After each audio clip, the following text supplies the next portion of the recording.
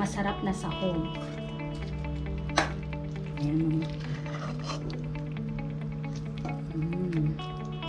So, titingnan nyo, medyo natuyo na siya. Dry. Ayan. Lutong-luto ang gata sa saruyot.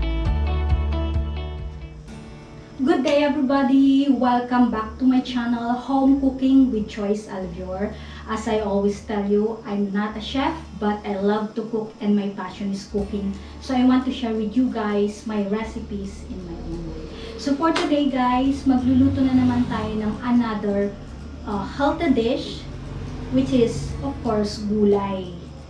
And napakasimple lang po ito. Kung alam niyo po ang inabraw or dininding, wherein ang mga Ilocano, isa po ito sa paboritong ulam.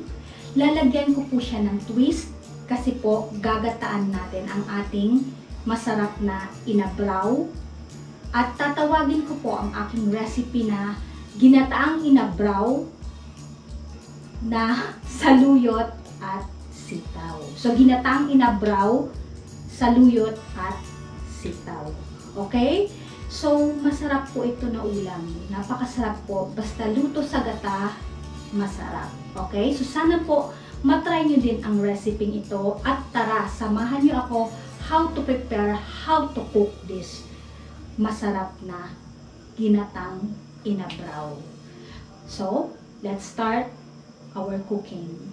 Okay? So, ating mga ingredients po or buong sangkap ay makikita on the description box below. Okay? And sa lahat po ng mga bago sa channel ko, we're here sa aming tiny kitchen.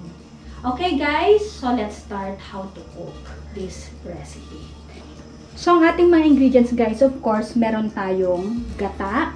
So, yung gata ko po, uh, one and a half cups. Yung cup po na ginamit ko ay yung pang baking, okay? Yun po yung one cup. So, one and a half cups. Pero if you want na gawing two cups, much better. Mas magata, mas masarap. Okay? And then guys, meron tayong saluyot. So, hinimay ko na po kanina. So, very fresh po ang ating saluyot. And then, meron po akong pritong tilapia. Ito po yung sahog ko. So, uh, ang pwede pa pong alternate na pang sahog ay pritong bangus or pritong galunggong or any kind of uh, fried fish. Pwede rin po nating pansahog sa ating ginatang inabraw. And then of course, meron tayong string beans or sitaw. And ang ating pampalasa of course sa ating uh, inabraw ay ang ating bagoong na isda. So, limang ingredients lang po ang kakailanganin natin sa ating recipe for today. Okay? So, kung mainit na po ang ating pan, yan, ilagay na po natin ang ating gata. Okay? So, maglalagay po tayo ng, a portion lang po ang ating gata.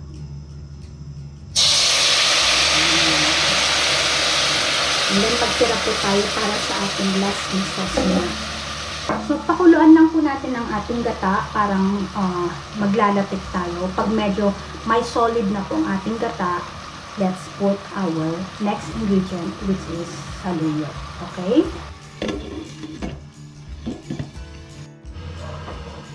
Okay guys, so let's check our gata. Ayan, so okay na. Medyo may solid na siya guys. So, nagmamantika na rin. Okay? Ayan. So, lagay na natin ang ating saluyot.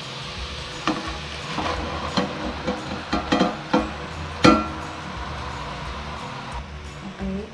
And then, pakuluan lang natin ang ating saluyot hanggang maluto for a few minutes. So, may dagdag na rin siya na konting tubig. Okay guys, let's check our saluyot. Ayan. So, kumukulo na siya guys. So, ilagay na natin ang ating sitaw. And then, let's put na rin our bagoong na isda. So, boneless po itong bagong isda ko. So, kung kulang po sa alat, pwede niyo pong dagdagan ng bagoong or asin para pampalasa. Okay? And then, ilagay po natin ang ating gata. Lutuin lang natin ang ating gulay sa gata. Ayan. Tira tayo ng konti. And then, ilagay na rin natin ang ating sahog na isda. Okay, so hayaan lang natin maluto ang ating gulay for about 10 to 15 minutes. Mas masarap kung medyo lutong-luto ang gulay. And then, let's taste and ready to serve.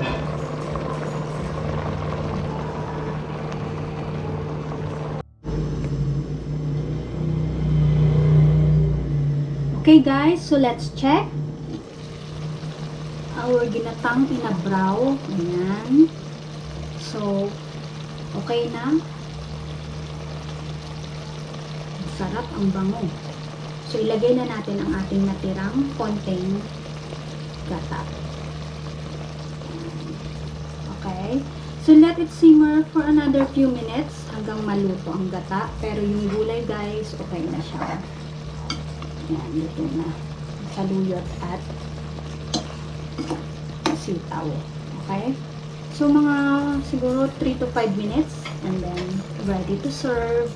Natikman ko na rin siya kanina and okay na yung alat sa akin. So, dagdagan nyo na lang po ng konting uh, asin or dagdag bagoong kung gusto nyo pa po ng mas konting uh, alat. Mmm, bango. Yummy.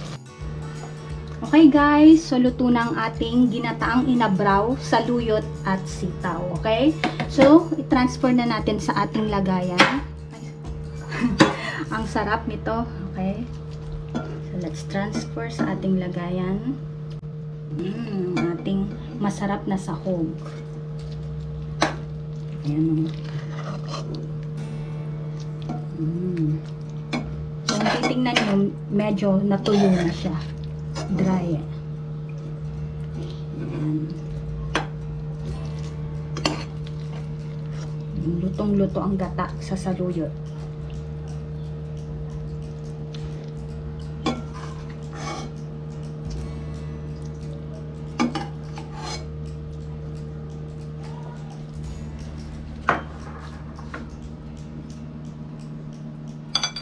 Okay guys, so ito na ang aking finished product. Aking ginataang inabraw. Ayan, sarap. So, kung sawa na kayo sa traditional na inabraw, lagyan nyo ng twist guys. Guys, lagyan nyo ng gata. Okay? So, tingnan natin kung anong lasa ng ating dish. Mm, lutong-luto yung ano, sa luyot, sa gata, sa kayong sitaw.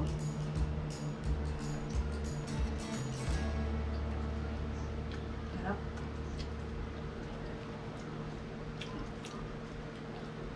Sarap niya. Kakaiba.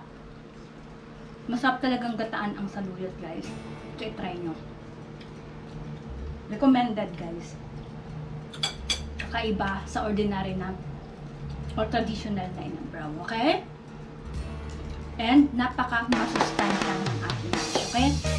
So, thank you guys for watching and see you again on my next vlog. Ingat po kayo lagi. Bye for now and see you again.